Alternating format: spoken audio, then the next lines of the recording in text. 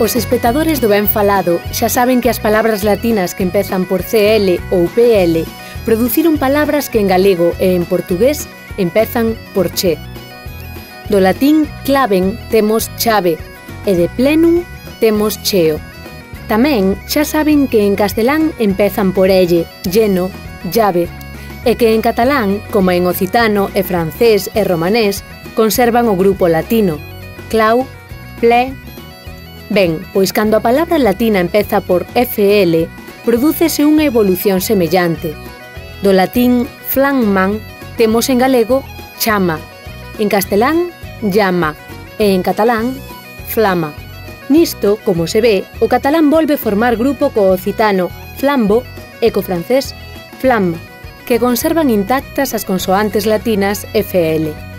O italiano converte na vogal I o L deste grupo, e así como antes transformou claven e plenum en chiave e pieno, agora transforma flanma en fianma. Agora, polo tanto, xa estamos preparados para entender que a cidade portuguesa de Chaves derivou seu nome da antiga Aquis Flavis. Aquis, con moita razón, porque as augas desta vila termal burbullan a 73 graus de temperatura. E Flavis, porque no ano 70 o emperador Tito Flavio Vespasiano elevou na categoría de municipio romano. Así que xa se ve que ese Flavis se transformou en Chaves.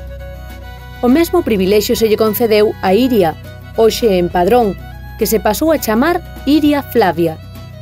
Resulta curioso un documento de 1435 do tumbo vermello da Catedral Compostelá que di «E todos los otros serviciales que moren en las llaves de Padrón pagan el quinto de lo que labran.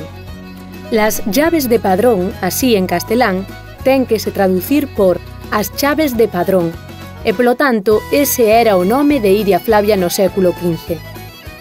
Lembremos logo que o FL inicial latino dá che en galego, e por iso de flores temos chores e chorima, e de Flaviani temos chayán, e de Florente temos chorente que en castelán é llorente.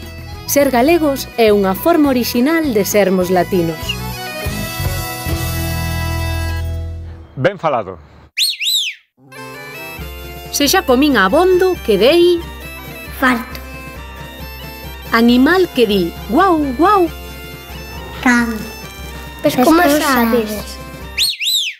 Acaban de ver que cando unha palabra latina empeza por FL, en galego empeza por che. E por iso de flamman temos chama. Fuxín da chama e caín na brasa.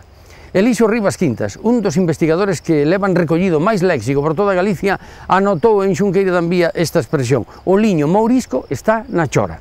Esta chora non é do verbo chorar, senón do verbo churir, florecer. O liño mourisco está na chora, está na floración.